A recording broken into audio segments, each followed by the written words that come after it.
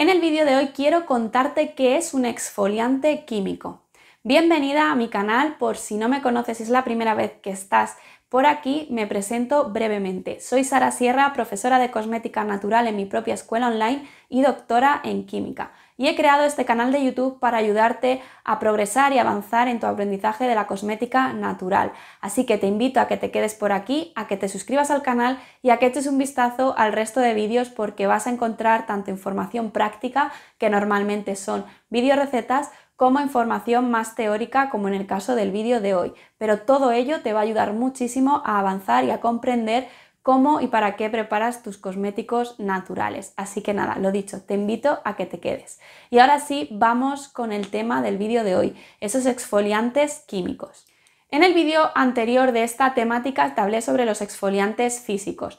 Y en los exfoliantes químicos, al igual que los físicos, nos van a ayudar a eliminar esas células muertas que tenemos en la superficie de nuestra piel. Con todo ello vamos a conseguir una mayor eh, luminosidad en nuestro rostro. Si tenemos eh, manchas nos va a ayudar a reducir esa coloración de las manchas e incluso también nos va a ayudar a desincrustar según qué impurezas. Así que esto es, esto es básicamente lo que va a hacer un exfoliante físico o químico, pero la diferencia que tienen entre los dos es cómo actúan. El físico, como vimos en el vídeo anterior, actúa de forma externa y necesita esa fricción, ese movimiento mecánico de nuestra mano para producir todo ese proceso de exfoliación y el exfoliante químico lo hace de una forma interna.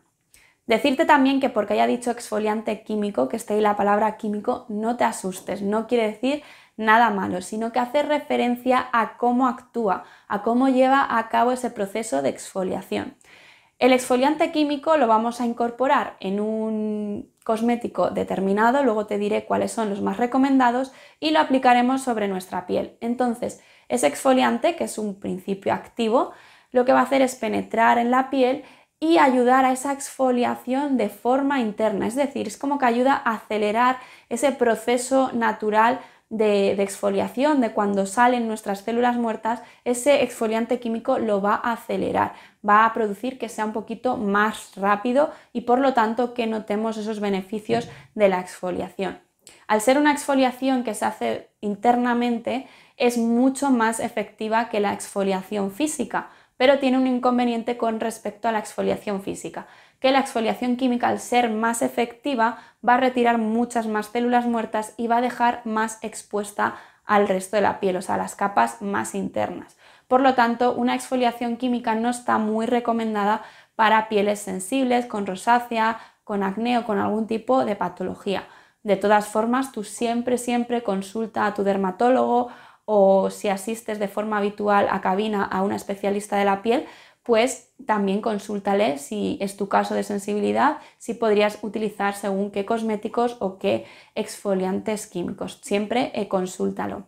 Por lo tanto, esta es la gran diferencia entre un exfoliante químico y físico. Uno, la forma de actuar, dos, que es mucho más potente y tres, que va a dejar mucho más descubierta nuestra piel. Así que yo recomiendo que cuando prepares un cosmético con un exfoliante químico, que ahora te nombraré alguno de ellos, te lo apliques por la noche porque claro, por la noche no te va a dar la luz solar y como tenemos la piel más expuesta nos puede causar un mayor daño esa exposición solar. Entonces aplícatelo por la noche y a la mañana siguiente siempre utiliza eh, una crema con protección solar.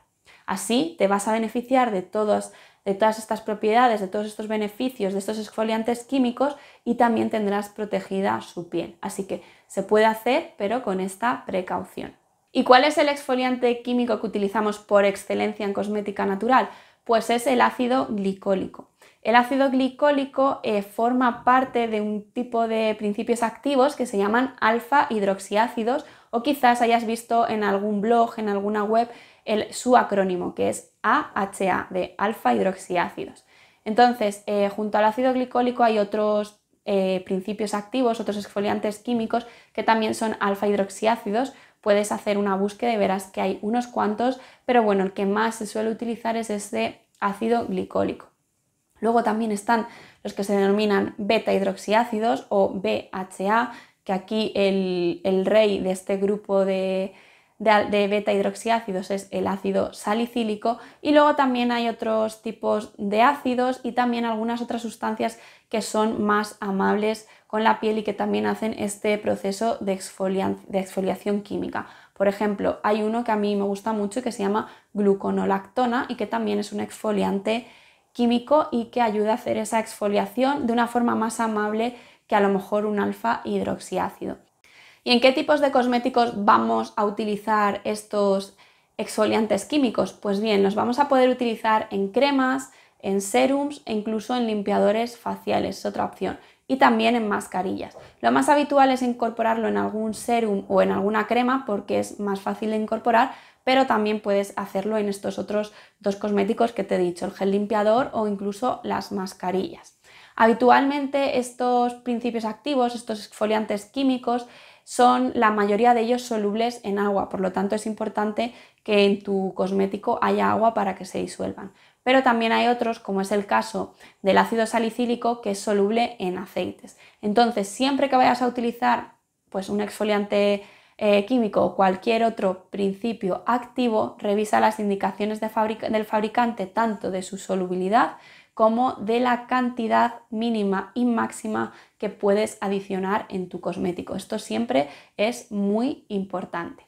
Y en principio esto es todo lo que te quería contar sobre los exfoliantes químicos. Espero que te haya sido de ayuda y como siempre, si te han quedado dudas, si quieres eh, que hable de alguno de ellos en más profundidad o quieres eh, dejarme alguna sugerencia para otro tipo de vídeos, puedes dejarlo en los comentarios. Yo eh, hay veces que tardo en contestar, pero eh, os aseguro que los leo todos y en cuanto puedo os contesto. Así que os animo a que me escribáis por ahí. Y nada, como siempre, recordaros que en la cajita de descripción tenéis más información tanto de mis redes sociales, de mis cursos y de otras marcas con las que colaboro y que nos dan algunos códigos de descuento para eh, comprar en sus tiendas. Así que nada, te invito a que le eches un vistazo a esa cajita de descripción porque puede que te interese algo de lo que te cuento ahí. Y nada, de nuevo, mil gracias por llegar hasta el final del vídeo y nos vemos en el siguiente. Chao.